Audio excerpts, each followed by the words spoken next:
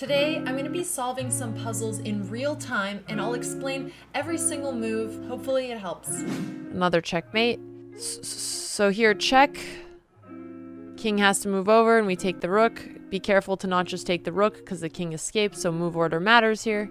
Black to move here. We again want to lure the king into the corner where he doesn't have a lot of space, so we're going to play rook g1, check, and take. So far, so good. Black to move. Okay, what kinds of moves are we considering? There's not a lot of good takes. These are both terrible.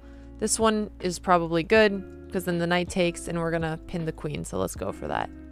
And then we run away and then we win a queen and then we, we win. Okay, what about check?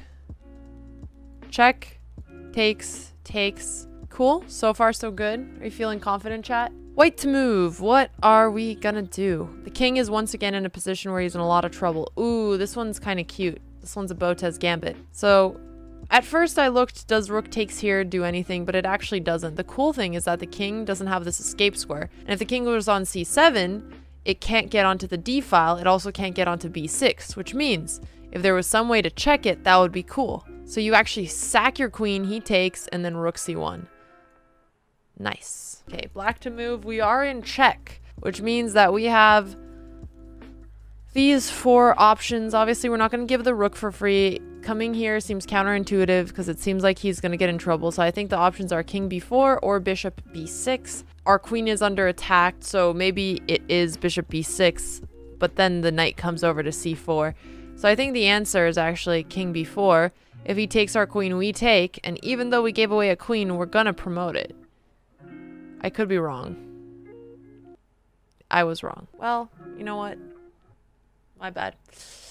Um, he's about to checkmate us. That's super rude. So what if we check him and then go here and then push our pawn? Check. Here. Whoa. Whoa. We did it. Cool. We're in check. So we either take or we move away. I'm guessing we take. Because if he takes back, we just fork his queen. There we go. We'll take the rook here. We're up material. Uh, okay, next puzzle. So we could just play rook b2. And then we're going to win a rook. Because it's pinned. And he has no check, so... Nice. Another check. We either take or we run away. If we go here, things are protected, which is cool. We don't really have any threats, so I feel like king f7 is the correct move. Because we're not losing anything. Whereas if we take, he takes with the queen and then we lose a rook. So it has to be king here. Yeah. And then we just run away. Yep.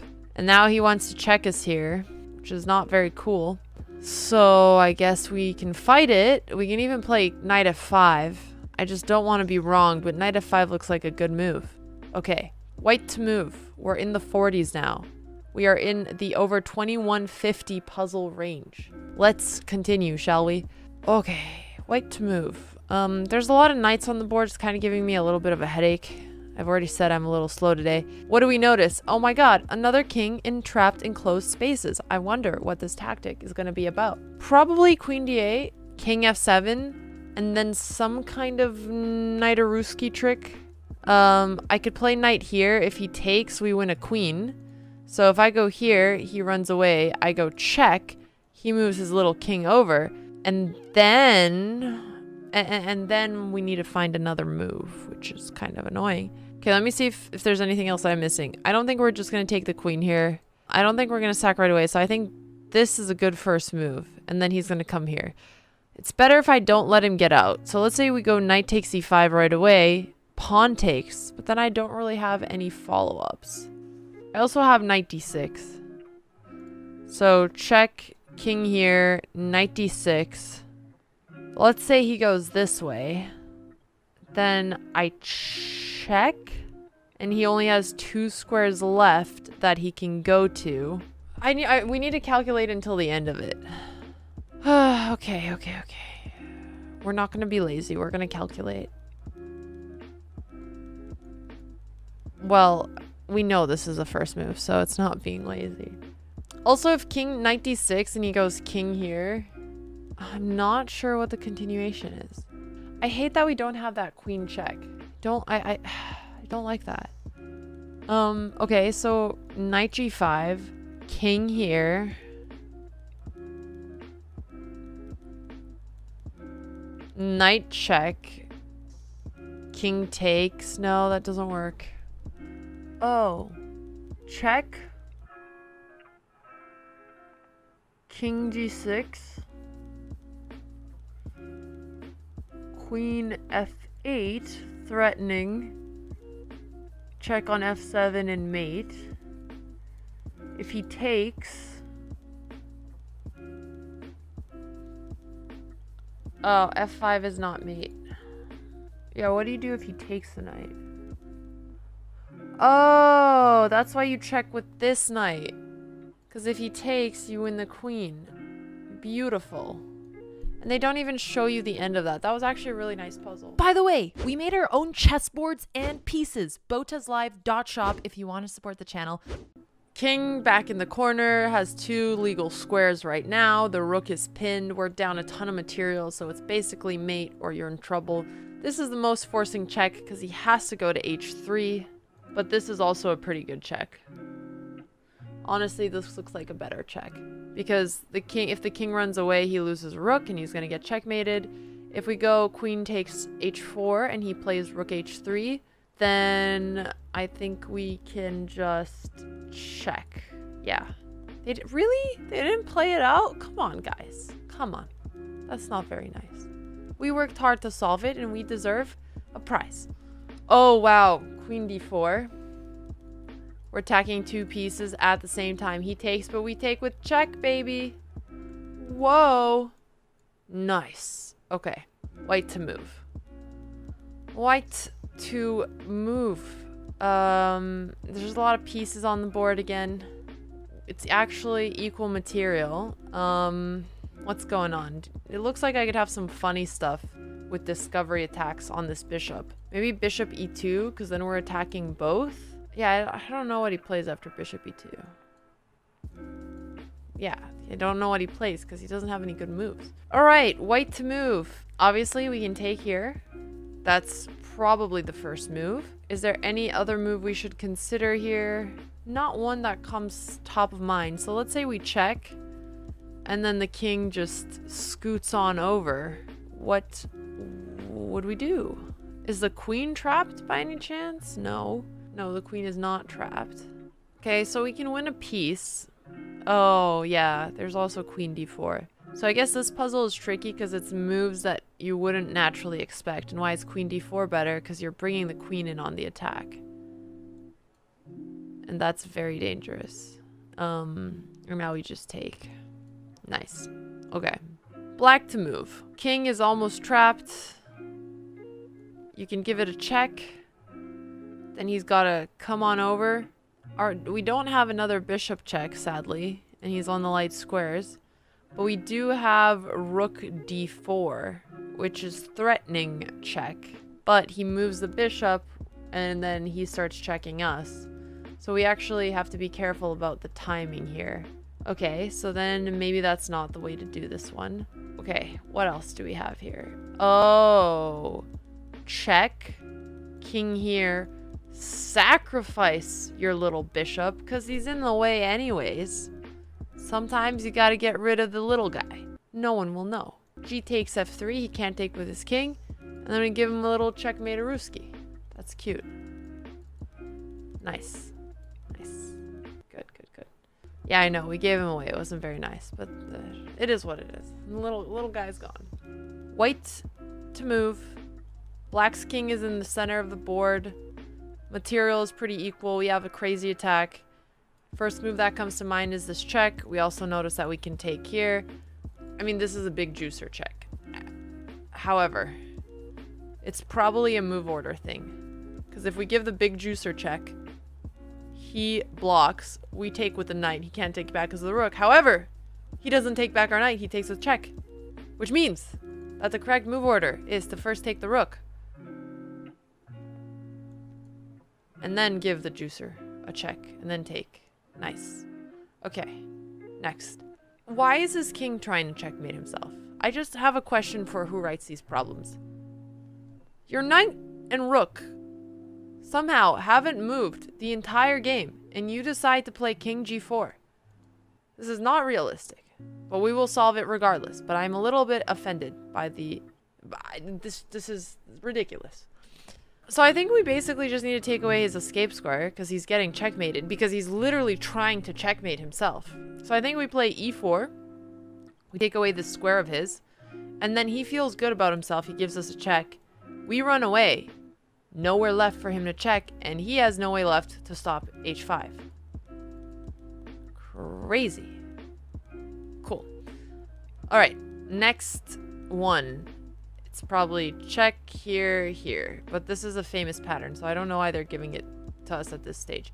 Oh, okay. Because it's trickier. It's trickier. This actually doesn't work. Because he can block it uh, and then maybe I'm getting into a little bit of trouble. So, let's see what we're going to do. So it's either rook takes or bishop takes. I'm starting to have a feeling that maybe the move is bishop takes. Let's say he moves his rook away. Well, we are also down a piece, so we do need to win quite a lot of material. And we can't double check, which is annoying. Oh. Oh, beautiful. Take, take, sacrifice your rook. Why do you have to sacrifice your rook? Because you need to find a double check. If it's a double check, then the king absolutely has to move because he cannot avoid both the bishop and the rook. Sorry, I didn't draw the line, but you get it. So then we do this. The king must take. We've taken away all of his escape squares. We come in with the rook. He sacrifices the little guy. It's really sad. The little guy ends up going down. And we checkmate. Okay, nice. Almost 50. Escape square for the king is this. Our rook is under attack. We have a ton of check options, and we're going to start looking at them. Alright. Oh my god. A Botez gambit, if you will. You know what check I didn't look at, chat? Queen f8. Just, you're trying to bait the king into somewhere where he has no squares, then you checkmate him. However, king is probably clever and he's going to come to d7, so we need a follow-up. We take and we mate. That's very cute. That was that was a cute little Botez gambit. We like those. We like those. Um, I'm actually gonna start saving the beautiful Botez gambits. Black to move. King is in check. We have three options. Which one is the best? I don't know. But we're gonna find out. We're up a piece here. So if I come here, he gets a lot of checks and that feels kind of gross. So let's say we go here and he takes.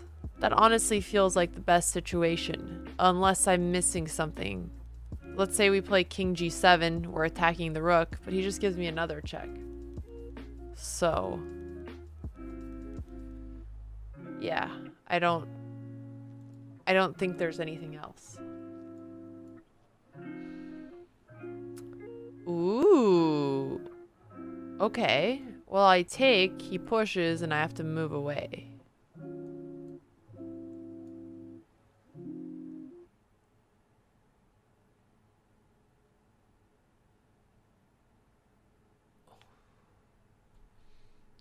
Okay, I don't know what that was. 2700 puzzle, we messed it up, that's okay. We got all of these things going on. If I take the knight, and he takes my queen, and I take his queen, and he takes my knight, I would take with the rook. He can't take. If he comes here, I go there, and I think we're up a piece. However, if I take here, and the queen takes, and I take, then I lose a piece. So that doesn't work. In which case, what about knight takes c6 first? If we play knight takes c6, we need to once again look at what happens if he takes our queen. We take his queen, and we already won a piece, so if they trade back, we're okay. So it's forced for him to take back, and then we take a knight, and we win a piece.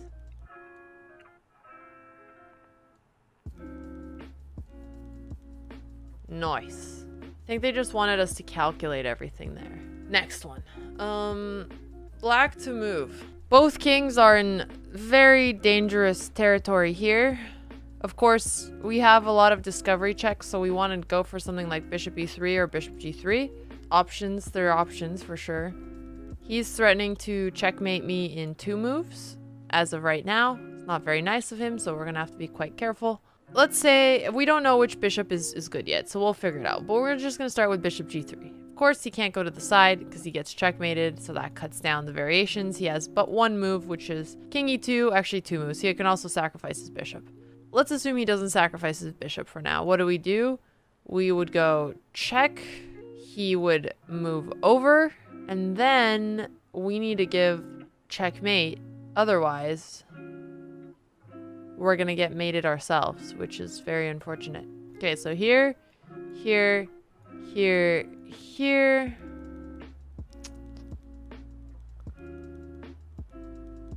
Uh, uh, uh. Not great. So, we're going to need more than just our bishop and our queen. Okay. Let's say we give check here. He plays king, and instead we play knight d4. He plays king d1. Do we have a checkmate now? Oh! I think the bishop needs to be on e3. Or maybe not. No, he does. He does. Okay, so bishop e3. King here. Knight check. He can't take the bishop because we mate. Okay, great. So bishop here, king here, knight here. He goes back. Um, we go knight check. He has to go here. We sacrifice the knight. If he takes, then we check and mate. However, he can also go back. And if he goes back, and our knight is here, then we take here. Bishop takes. Also, if somebody is typing the solution in chat, give them a timeout, just like for a second, because I don't want to accidentally see it. Anyway, I know this is it. Fuck! Sorry.